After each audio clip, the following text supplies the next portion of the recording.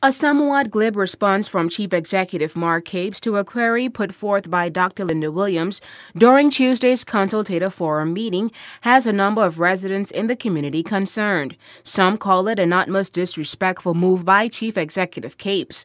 Let's take a look at that exchange that sparked the controversy. The Chief Executive Officer believes to confirm the total number of advisors that are employed by the K government and indicate their distribution in the, in the public service. The chief, the chief executive officer further gave a breakdown of, of the expenditure associated with advice in the, in the following areas. Salary and allowances, housing, official travel.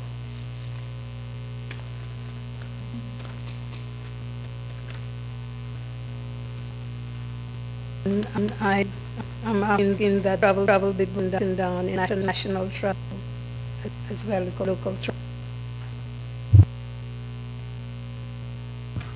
Madam Chair, there are currently just two technical advisors employed by the Turks and Caicos Islands government.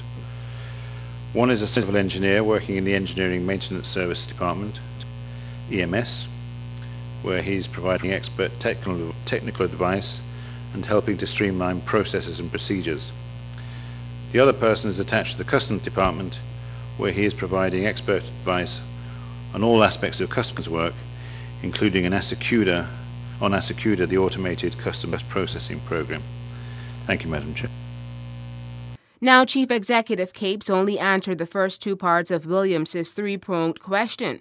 He did not address the salary, housing, and other allowances for advisors, and Williams was clearly stated as such. Madam Chair, I don't think, um, unless, unless I'm led the, the wrong, the executive has, has responded the best question that was put. I'm bringing there the two, two persons and, and told where they are placed, but I've also asked for a breakdown in the expenditure associated with their employment.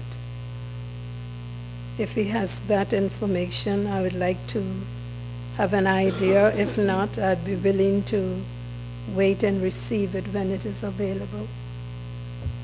Madam Chair, I don't, don't have that information. Um, quite frankly, I'm not sure why we need public servants to go into digging into these issues um, for the two advisors from the UK. Um, we have been down this road before, and I, I, just wonder where this questioning is going actually. Um, I think you know, there, are, there are other issues that we can spend our time on uh, finding information rather than this. Madam Chair, may I respond?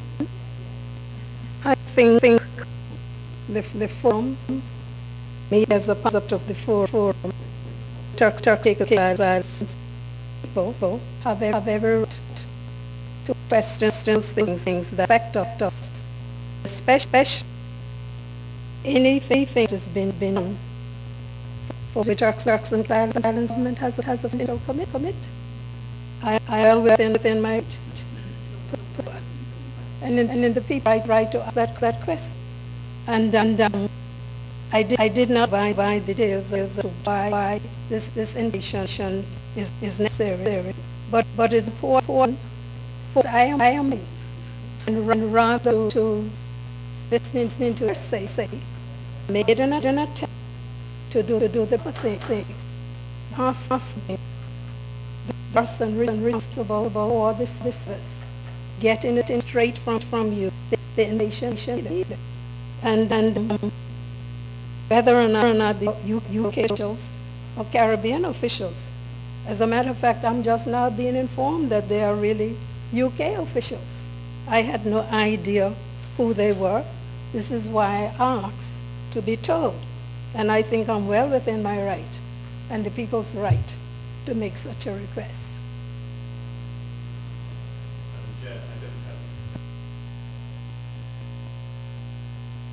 This is, this is um, I wonder, wonder this information is really needed, but if we, if, we, if we can get it, we will provide it. I don't have it with me at the moment.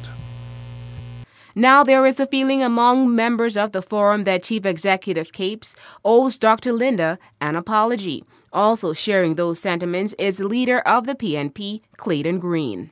That is why that is why I was I was disappointed um, in what happened in the forum in the forum yesterday. What I would say um, is when one considers the fashion in which Mr. Capes spoke to Dr. Linda, and she's our Dr. Linda, mm-hmm. whether you like her or hate her. Mm-hmm. She's a product. She's a product of this country.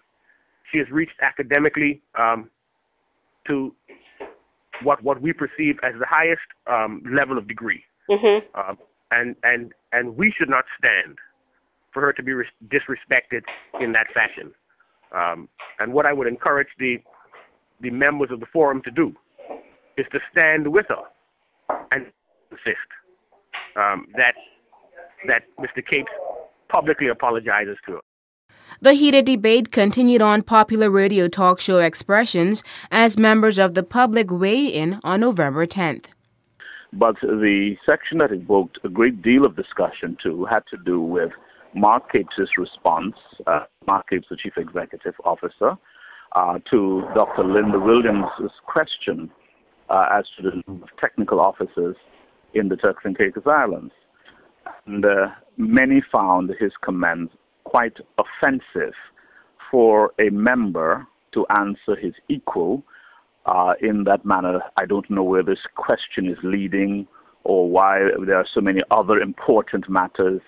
I characterized it as being uh, smacking of of uh, arrogance, and I thought that he was quite out of order to answer that way.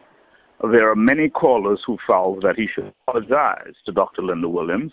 There are a few who actually gave their ultimatum that by Saturday morning he should apologize. Well, that's another kettle of fish. I'm not into that part of it. But I, I really felt that his attitude, uh, particularly under the circumstances that we are experiencing right now, is totally uncalled for. Now, according to a public statement submitted by Dr. Linda Williams today, November 11th, at the end of the meeting, I pursued the matter with Mr. Capes, making it very clear that his behavior was unacceptable. Mr. Capes indicated that his response meant no offense but apologized nonetheless and committed to having the information to me in a short while. On Wednesday, November 10th at 12:55 noon, Mr. Capes had his response hand delivered to me. I am satisfied that the information adequately satisfied my expectation. Additionally, Mr. Capes communicated his apology in the written response sent on Wednesday. I have spoken with H.E. the governor, making clear my position on the matter. His Excellency apologized for any offense taken.